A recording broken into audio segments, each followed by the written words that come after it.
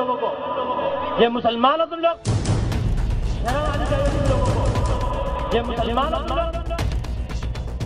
नमाज़ के दौरान मौसीकी के फ़ंक्शन में मौलवी साहब ने आकर सबको खरी खरी सुना दी।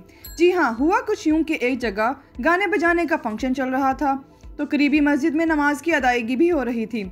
लेकिन एक नौजवान अपने सुरीले अंदाज में रुमानवी गाना गा रहा था तो ऐसे में तैश में आए एक नमाजी स्टेज पर चढ़ाए। और ज़बरदस्ती इस नए गुलकार से माइक छीना और कहने लगे आप लोगों को शर्म नहीं आती? आप लोग मुसलमान हो फिर भी नहीं पता कि साथ वाली मस्जिद में नमाज़ हो रही है. शर्म आनी चाहिए तुम लोगों को। ये मुसलमान हो तुम लोग? उधर नमाज़ हो रही है यहाँ पे तुम डांस कर रहे हो। इंसान बोलो।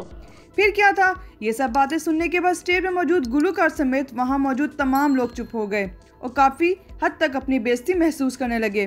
ये वीडियो हुजूम में से कोई इसने गुलूकार की बना रहा था, लेकिन इसमें ये मंजर भी कैद हो गया और अब ये वीडियो मंजर आम पे आने के बाद सोशल मीडिया पे खूब वायरल हो गई है, जिसमें सार्फिन, बुज़ुर्ग बाबा जी के इस इकदाम को काफ़ी सराह रहे हैं।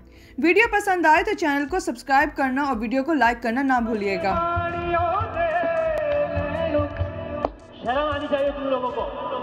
ये मुसलमान हो तुम लोग। उधर नमाज़ हो रही है, यहाँ पे तुम डांस कर रहे हो। इंसान बोलो।